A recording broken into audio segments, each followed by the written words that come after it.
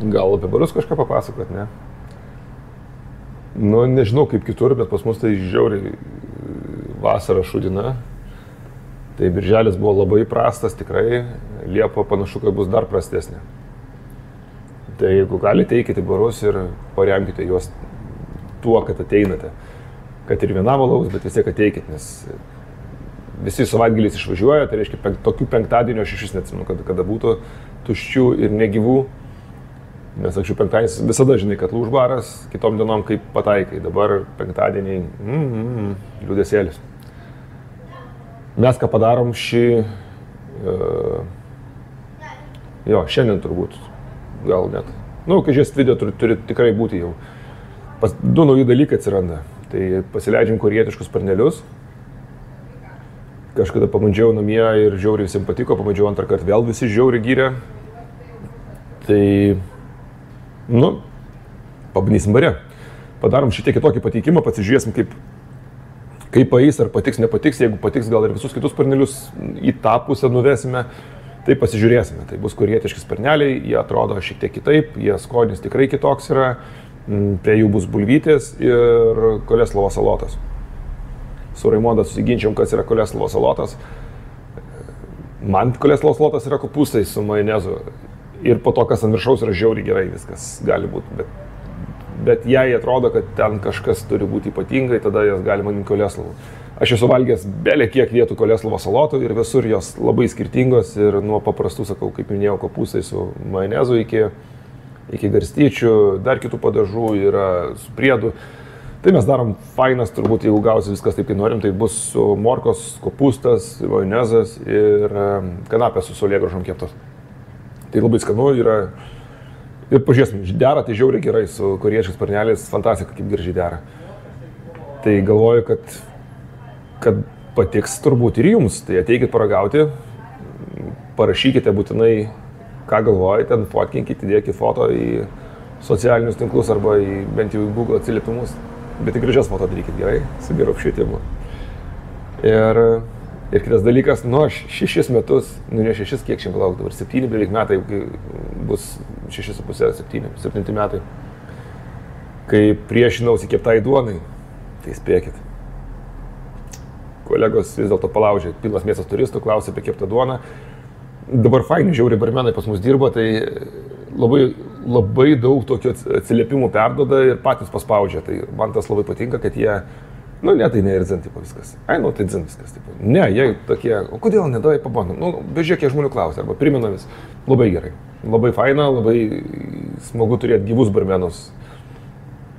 Tai, tai paleidžiam keptą duoną, bus su, su, su mūsų sūrio padažu ir e, su česnaku. Tai bus keptas česnakas kur galėsite išsilūkštenti ir užsitepti ant duonos. Bus juoda kepta duona. Aš keptą duoną tai suprantu tik tai juodą. Kodėl daro baltą, nes nedaug pigesnė yra. Tai balta duona yra daug pigesnė, tai todėl jie perka ir todėl jie daro. Tai šiandien testuosimės e, duoną, nes duoną tai ištestavom, pasiragavom, viskas labai gerai, viskas ok, bet neturim kortelės, reikia pasigaminti kortelę, kad suprastumėm, žinotumėm savikainą visą. Tai kai turėsime savikainą, tada galėsim pasakyti galutinę kainą. Nemanau, kad jinai bus 2 eurai, turbūt kaina nebus maža, nes ir žiaurės skaniai, ir padažas labai geras, kurį mes verdame patys gaminamės, ir, ir česnako visą galvoti, ir, ir, ir, ir duonos, nu, bet labai skanu, tikrai ragavom, visi barmenai žiauriai laimingi, patenkinti, kad bus. Tai va, tai du dalykai atsiras šią savaitę, tai manau, kad šiandien blogiausia atveju atsiras kažkada vėliau gal. Taip. Tai va, tai trakuose terasa dirba ir ten žmonės sėdi. Bet ta terasa, žinot, ten tų staliukų mažai yra. Tai, tai pasispaudžia, kiti susėda, bet laukia kažkaip viduje sunkiau sėdasi. Tai ypač kai karšta, tai pas mus viduje toks pat tokia pati temperatūra kaip ir laukia. Atsidarom langus, tu kaip laukia sėdi, bet kažkaip visi žmonės sunkiau eina. Kai e, vakare oras šiek tiek vėsesnis, bet ten saulė atsisuka pas mus, tada ir vidų užėjame pasėdėti, nes ten vėsiau atsigaivina, bet kai karšta, tai tada jau nežinau. Mes vakarinę saulę turim, tai vasarą, kai žiūri karštą, tai tos vakarinės saulės nesinori, kai šiek tiek vėsiau, tai labai nori tos saulės. Tai Obilaikė tai didžiulis laukas, ten faina. ten labai daug ateina žmonių, kurie aplinkui gyvena, labai daug ofiso ateina aplinkui, tie ofisai atsiveda savo draugų, nu, labai gerai to vietoje. Tai nuotaika gera, bet baruose, bet vat, žmonių tai trūkumas didžiulis yra.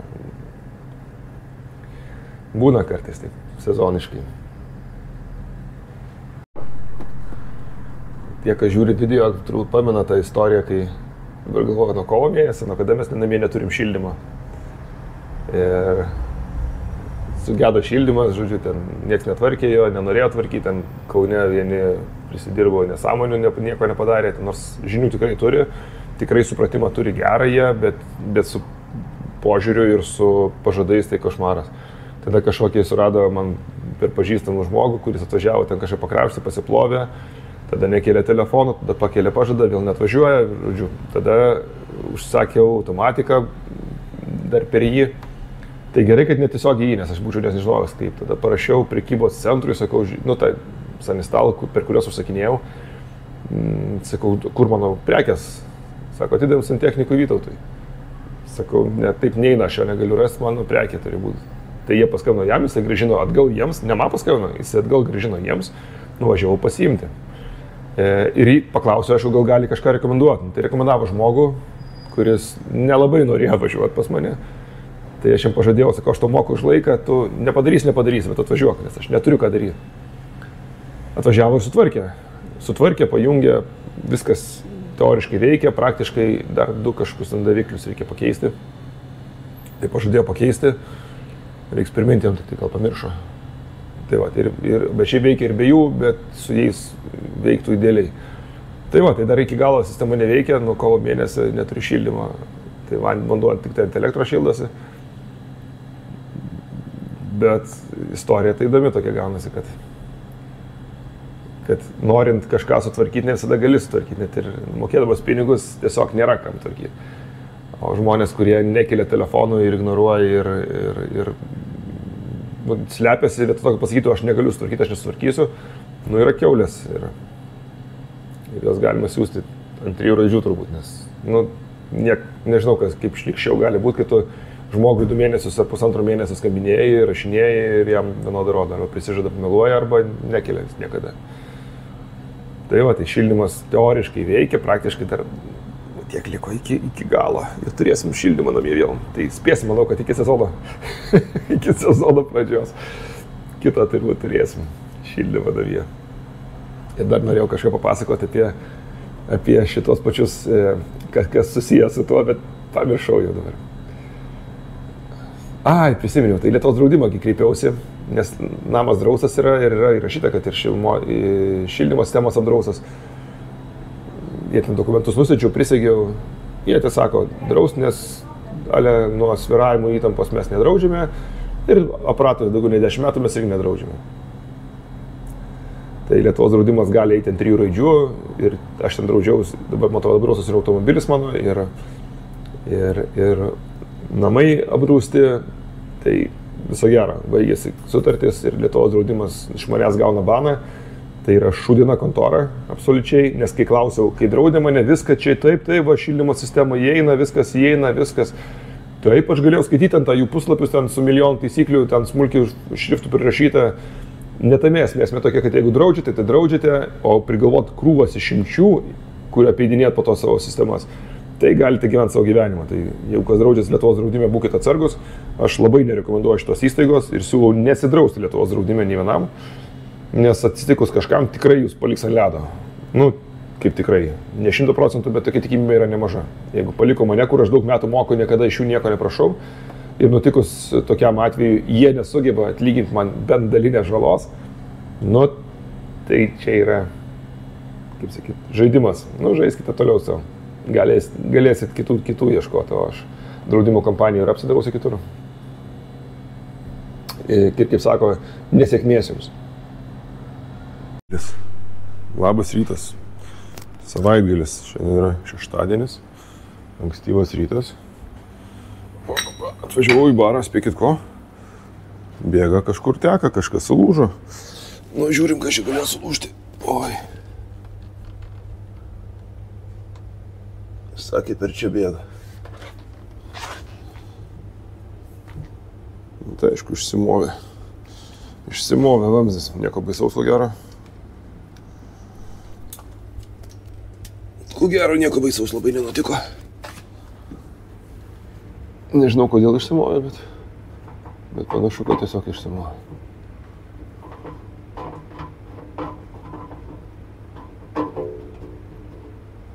Ten tarpinė turėtų būti dar.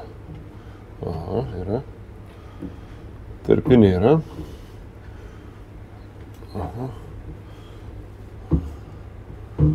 Kompas, kompas ne visai sueina man. Aha.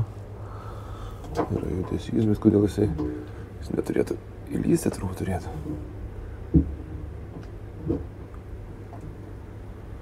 Na, palaukit, reikia, reikia žiūrėti, kažkas ne, ne taip man čia. Opapa. Opapa, opapa.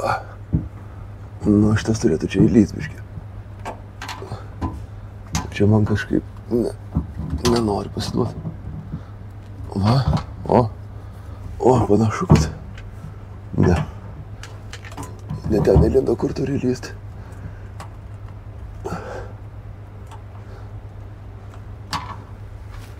Nesuprantu. Žiūrim, žiūrim. Škitam sauką gal, bet.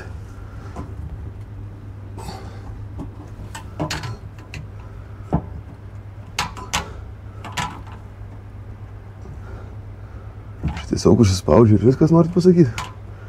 Šitas vamzdis neturi. Jis tai neda.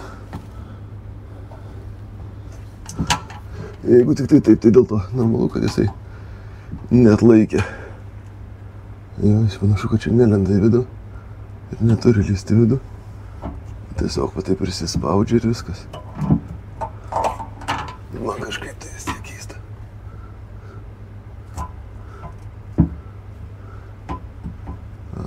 Vos vos. Simboliškai.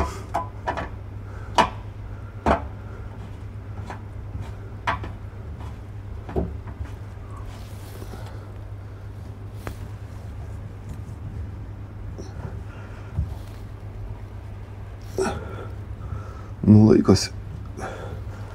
Kaip čia taip iššoko, nežinau, bet... Op, laikosi. Nu, va. Daug triukšmo dėl nieko turbūt. Reikia ką padaryti pirmiausia padarius darbą.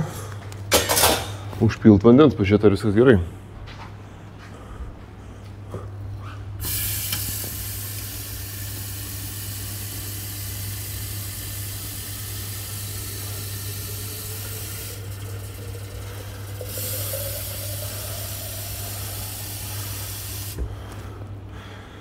Na, žiūrėkime pačioj sausą ar nesausą.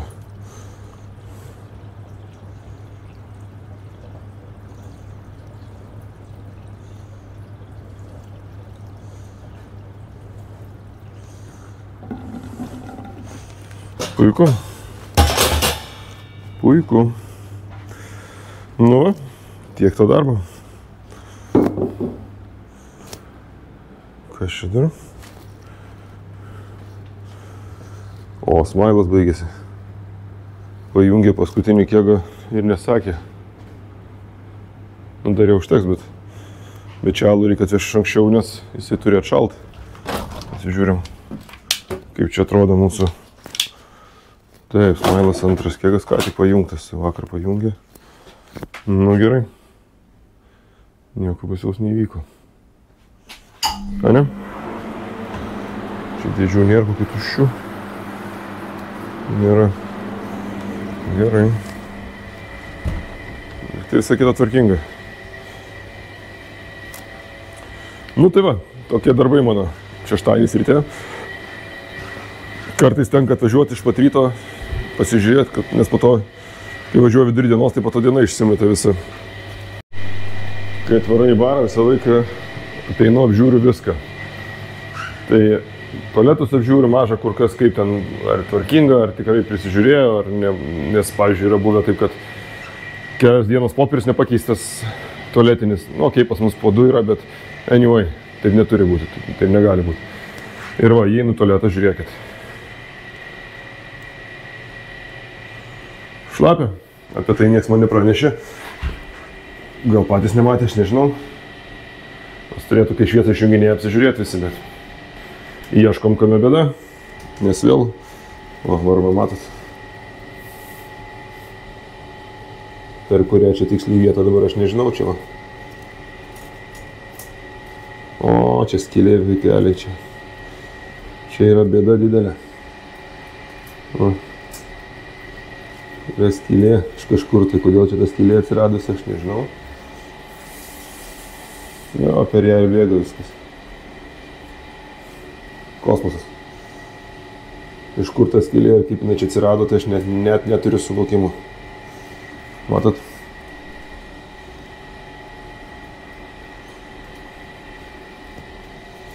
Tai čia panašu, kad reikia išsimatuoti, keisti visą sifoną, nes abejoju, ar tokį rasiu. Nu, tai reikia tvarkyti dabar. Jo, čia barmenai pražioplino, nes jie turėjo matyti tokį dalyką ir turėjo, tikrai bala buvo vakar, ne šiandien, nes čia savaime per, to, per šitą skylę neprivarva. Tai barmenai išjunginėdami neapsižiūrėjo tualeto ir nesutvarkė. Na, tai čia sutvarkysim greitai, trumpuoju būdu, bet kitoj pusė irgi pakalkėja, kodėl čia.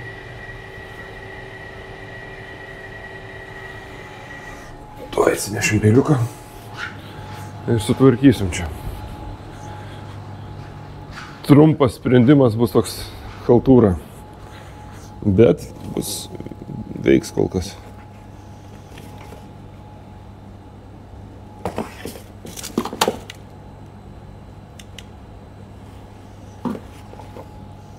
Tik reikia surasti lipnių juostą. va. Lipnių peiliukas. Ir Popierius ten yra.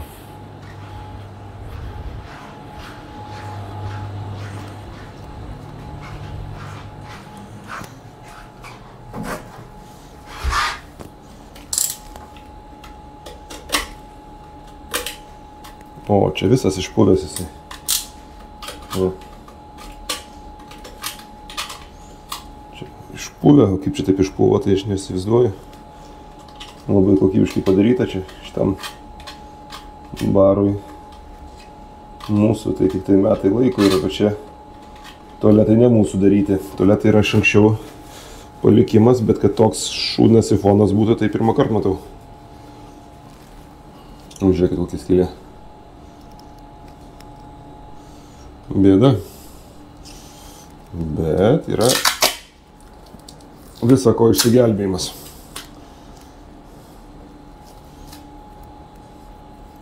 Šitas daiktas viskas, viskas remontuoja. Viską sutaiso.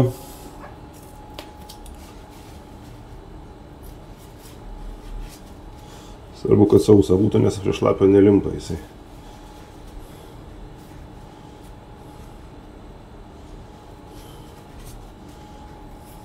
Šitą juostą. Nu, ir jo. Op. Ir nepatikėsit, viskas suremontuota. Aišku, kad reikės pakeisti, bet,